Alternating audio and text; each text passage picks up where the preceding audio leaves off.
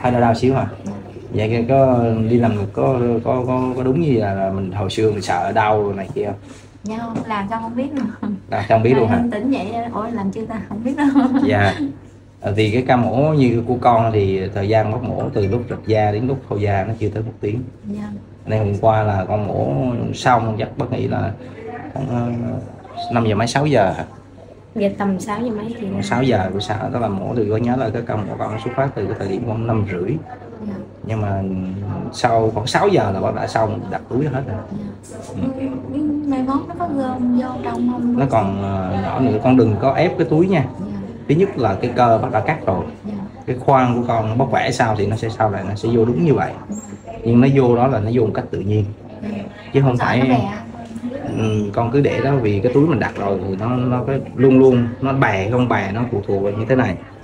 À, khi một cái lồng ngực á nó nằm ngang vậy thì cái túi nó nằm nó trải nha con sẽ không thấy nó bè nhiều. Nhưng mà khi cái lồng ngực của con nó như thế này thì đương nhiên cái tư thế túi nó đang nằm như vậy. Cho nên con nhìn mặt con trước con sẽ thấy cái túi nó bè này nhưng tất cả mặt trước cho mổ bác ờ, tư vấn cho con đó.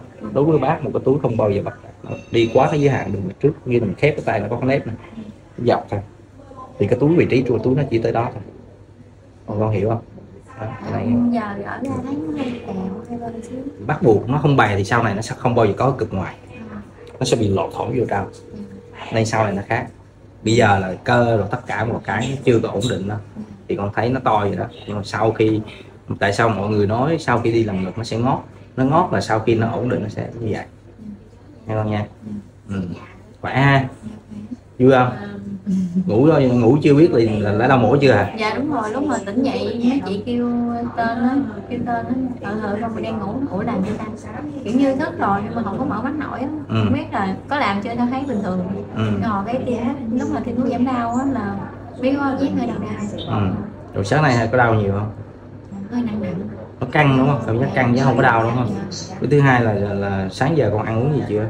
Dạ, Ăn uống bình thường thôi gì hả? Hôm qua như lai ca này lên khoảng tám rưỡi hả? Dạ lên sớm bác tầm Đúng rồi. một giờ. Bảy giờ. Dạ. Ừ. có nghĩa là bạn thấy mổ xong có hơn tiếng bạn lên lên phòng lại rồi. Dạ. bởi vì ca mổ con ngắn thì thuốc gây mê nó ngắn. Nó ngắn thì cái thời gian mà con bị cái thuốc gây mê nó gây ngày ngặt buồn ngủ này kia nó sẽ ngắn. Dạ. rồi con sẽ phục hồi nhanh. Hôm qua ăn gì? Hôm qua cũng ăn cháo. Ừ. hôm qua ca nào mà nó mới mổ lên đồ thì mang đói bụng? Còn Dạ cái à, ca nãy hả tại em nguyên ngày hôm qua không có ăn. À. Không ăn từ chiều hôm qua chiều hôm trước luôn. Xong Ừ. rồi giờ tới hôm qua luôn. Dạ. Lên ăn ngon không? Ăn đã không? Ăn được nữa cháo. Ừ được dạ tối hôm qua ngủ sao? Dạ ngủ bình thường. Ngủ bình thường luôn. Ừ. rồi bữa nay về. Rồi cái lịch tái khám thì các chị sẽ hẹn con. Ờ, không ca nào giống ca nào ấy trong cái vấn đề tái khám. Ừ. cái vết thương thì hiện tại là bác đã khâu lớp trong rồi.